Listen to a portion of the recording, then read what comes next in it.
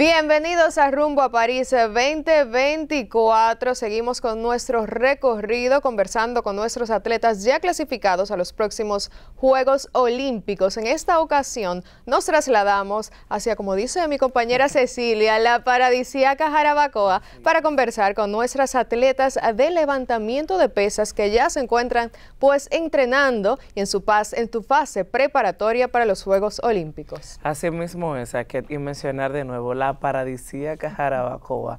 Un clima espectacular y unas vistas preciosas, pero donde se está trabajando de a duro, porque así en ese clima bello y precioso se encuentra un salón lleno de pesas y de hierros donde nuestras atletas están dando lo mejor. Y en este caso, tú tuviste la oportunidad de conversar con Beatriz Pirón, que va para sus cuartos y últimos Juegos Olímpicos, donde define que aquí termina su carrera deportiva. Pero ustedes no se mueven. Vamos a escuchar una cápsula y luego esta entrevista con nuestra atleta Beatriz Pirón. Beatriz Pirón es una atleta de levantamiento de pesas.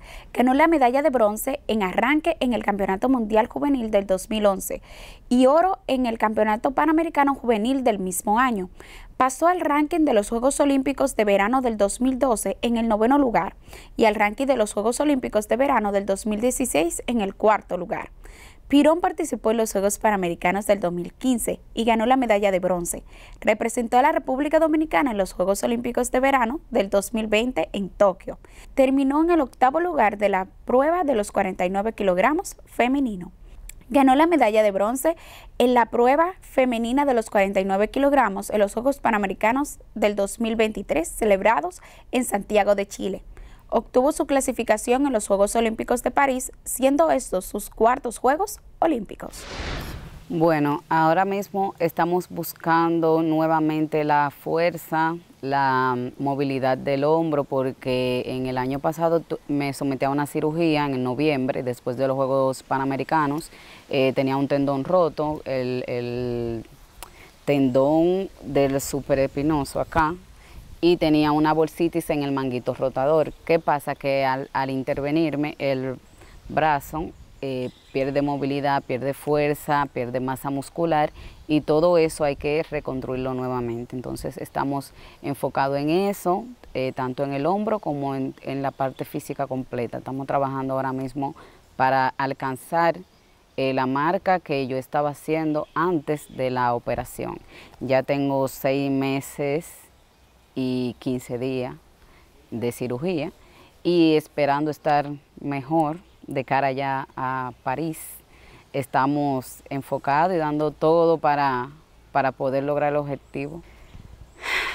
Te puedo decir que la diferencia de estos Juegos Olímpicos es que son mis últimos, que ya este sería mi cierre en mi carrera internacional y que, wow, clasificar a cuarto juego, unos cuartos Juegos Olímpicos para mí ya es historia, porque aquí en Dominicana ningún atleta había logrado esa hazaña, para mí es algo grande realmente. Estoy terminando mi carrera en la universidad, ya solamente me falta presentar el monográfico y hacer la pasantía, lo cual eh, me ha tomado mucho tiempo este, la universidad por los eventos, las concentraciones, cuando tengo concentraciones tengo que parar por completo la, universidad, pero ya gracias a Dios estoy terminando mi carrera de contabilidad, lo cual estoy eh, pensando dedicarme a mi carrera, a mi, familia, que mucho tiempo le he quitado ya, y pienso este, dedicarme a eso. Realmente es muy difícil eh, permanecer por tanto tiempo alejada de la familia. Eh, ahora mismo estoy pasando como el proceso otra vez de alejarme de mis niños y eso, pero anteriormente ya llevo varios años practicando lo mismo, ¿qué pasa? Que uno se adapta. Y ellos lo entienden. Claro, ellos lo entienden. La grande es que no, ya no lo entiende tanto porque ella dice, wow, ya está bueno, ya yo tengo 13 años, me hace falta mi mamá pero este, uno cuando está en la práctica es solamente la práctica, la concentración es en la práctica, ya ahí lo que es la familia, los lo problemas, lo económico, lo que sea, tiene que estar fuera y uno se centra en lo que tiene que hacer en la práctica. Ya después de ahí tú lloras, botas las lágrimas, los sudores y lo que tú quieras, pero el entrenamiento es el entrenamiento. Claro está que es difícil porque tus hijos son tus hijos, tu mamá, tu pareja, tu familia. Sería la medalla de oro de Lima, inolvidable. ahí te estuvimos apoyando. Inolvidable, realmente. Eso, eso fueron uno, una, una medalla bien peleada, una jugarreta bien jugada de los entrenadores también, porque déjame decirte que atrás de un gran atleta hay entrenadores que piensan, que piensan cómo el atleta puede coger la medalla, en qué movimiento, cuánto kilo podemos ponerle, cuánto ya no puede hacer. Y gracias a la dinámica de ellos y que pudieron combinar, yo pude obtener esa medalla. Aparte del esfuerzo que uno hace, eh, ya cuando está en la plataforma, cuando tú estás en la plataforma eres tú, pero antes de ellos son los que juegan el papel más importante. Bueno, darle las gracias por todo el apoyo que me han dado personalmente. Eh, sé que tengo todo un público, toda, toda una nación esperando siempre lo mejor de mí y sé que hay muchas personas que oran por mí para que me vaya bien y darle este, muchas gracias por eso y que continúen apoyando el deporte, no solamente a mí, sino a todos los atletas que van a representarnos ahora en París 2024. Y ahí pudimos escuchar las palabras y un poco pues de la conversación que tuvimos con Beatriz Pirón, como mencionaste Cecilia, estos serían sus últimos Juegos Olímpicos y ella se retira pues por todo lo alto, porque como diría yo, que mejor escenario con los Juegos Olímpicos para ya decirle pues adiós al deporte. Tú tuviste el placer, Cecilia, de conversar con Yudelina Mejía, que ella quedó en darte los numeritos que iba a ser en París, pero nos lo debe, nos lo debe. Ella, ella debe, debe esa cifra.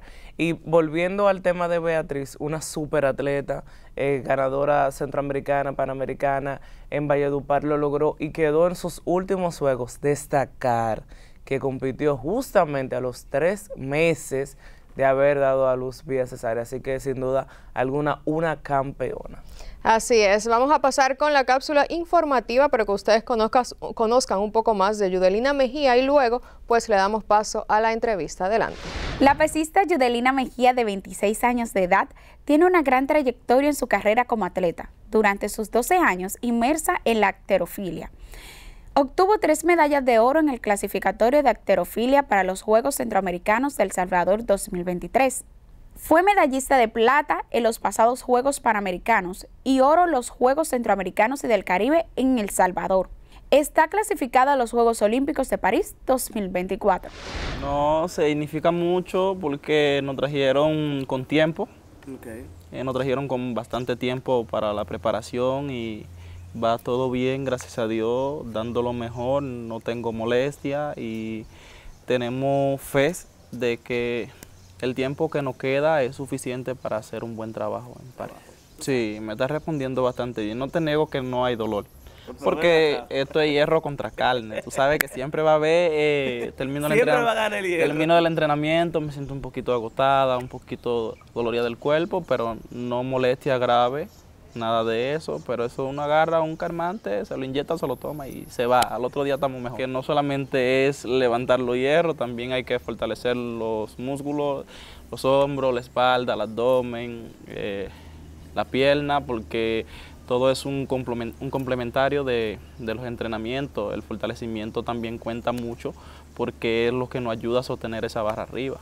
Bueno, eh, hay semanas que de lunes a, sábado, que son los entrenamientos, entrenamos, eh, un ejemplo, el lunes dos veces al día, el martes dos veces al día, el miércoles dos veces al día, ya el jueves una práctica y el viernes dos veces, el sábado una. Tenemos el domingo de descanso, de recreación, compartimos, jugamos dominos, domingo y hacemos diferentes actividades.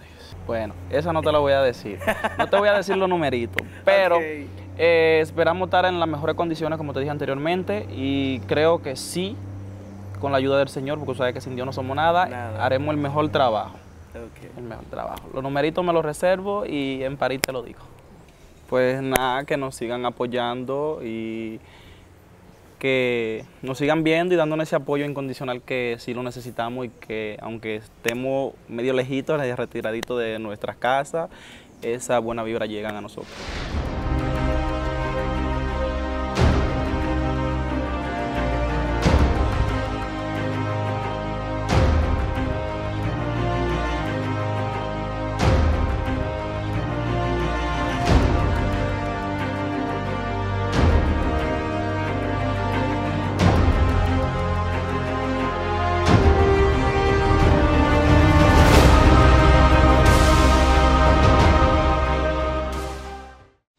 Amigas, amigos, gracias por mantener la sintonía. Estuvimos ahí escuchando a Yudelina. Ella me dejó los números para París, pero yo espero convencerla en estos días. ¿Será que me tocará volver a Rabacoa para hablar con ella? Pero sí, estuvimos allá y también conversamos con nuestra medallista olímpica, Crismeri Santana. Vamos a escuchar un poco de una cápsula deportiva de ella y luego vamos a la entrevista.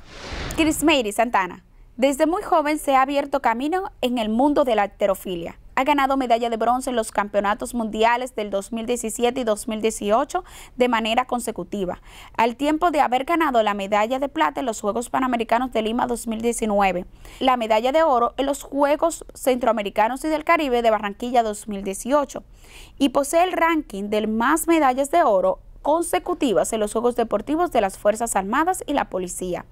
Ganó la medalla de bronce en el evento femenino de los 87 kilogramos en los Juegos Olímpicos de Verano del 2020 en Tokio. En el Gran Prix de Heterofilia en La Habana, Cuba, en el 2023, logró la medalla de plata y también obtuvo la medalla de bronce en la modalidad envión, alzando 149 kilogramos en los Juegos Centroamericanos y del Caribe en El Salvador 2023 y está clasificada a los Juegos Olímpicos de París 2024. Eh, estamos bien, gracias a Dios. Eh, ya tenemos unos cuantos meses de preparación para seguir fortaleciéndonos, para llegar a París en salud, tanto física como mental. Son unos entrenamientos bastante fuertes, eh, completos, tanto en lo físico como en los movimientos de, levantamiento de pesas. Em, estamos entrenando muy duro. Yo vengo eh, de una recuperación, eh, nada, estamos bien y nos vamos a poner mejor. Bueno, mis expectativas es yo ir a París, con el favor de Dios, a darlo todo, a competir durísimo y eh, enseñarme a mí misma de que sí puedo, de que sí, de que todos los obstáculos se pueden vencer con el favor de Dios y que se puede trabajar conjunto eh, a un grupo, a un equipo de entrenadores, de preparadores y de psicólogos, entrenadores mentales y todo eso. Y de verdad que son mis expectativas para París y nada, me siento bien. Estos juegos serán diferentes a lo que fueron eh, los juegos de Tokio. Eh, no sé qué esperarme, pero sí sé que daré lo mejor de mí. Eh, cuando uno está arriba de esa plataforma, realmente uno lo que quiere ir y darlo todo, demostrarse a sí mismo de que sí se puede, de que puede romper barreras. Y nada, son emociones encontradas, se siente bonito eh, ver gente de tu país apoyándote, se siente muy bonito. Para mí la preparación psicológica y la parte mental es fundamental. Yo entiendo que es 50-50, 50 físico, 50 mental. el trabajo que se está haciendo para los Juegos Olímpicos eh, de levantamiento de pesas son los mejores y de verdad que eh, estamos bien en, la, en las dos partes tanto en lo físico como en lo mental y esperamos que con el favor de Dios siga mejorando. Normalmente en mi día, bueno, me levanto, obviamente, me levanto y me cepillo. Obvio. Em, suplementos, em, desayuno, eh, darse caliente, porque aquí en Jarabacoa es un clima, tanto puede amanecer frío como puede amanecer caliente, como puede amanecer neblinado, eh, lloviendo. y las articulaciones necesitan un cariño especial para esos días que son el caliente y todo eso. Y luego de ahí nada, se reposa otro poco y luego a entrenar. Después de ahí se entrena, se calienta, se ríe, se llora. Eh, se disfruta la práctica y después de ahí uno se baña, se pone hielo, claro, son los días muy activos. Ahí ya se te va el día Todo. Yo no tengo, o sea, uno saca su tiempito para uno eh, estudiar, obviamente.